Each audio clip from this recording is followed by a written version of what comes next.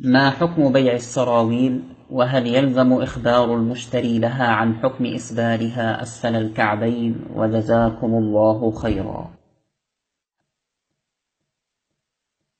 السروال إذا كان واسعا فضفاضا غير شفاف وليس مما يختص به الكفار في أزيائهم فلا حرج في لبسه وبيعه. لأنه انتفى فيه تحجيم العورة ولم يعد من خصائص لباس الكفار.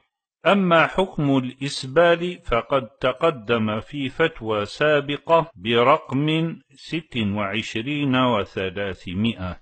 ويشرع إخبار المشتري للقميص والسروال عن القدر الزائد عن لابسه لتناول لفظ النهي له. في قوله صلى الله عليه وآله وسلم ما أسفل من الكعبين من الإزار ففي النار. وفي قوله صلى الله عليه وآله وسلم إن الله لا يحب المسبل. عملا بواجب النصيحة وبمقتضى الأخوة الإيمانية المتجلية في محبته للغير ما يحبه لنفسه.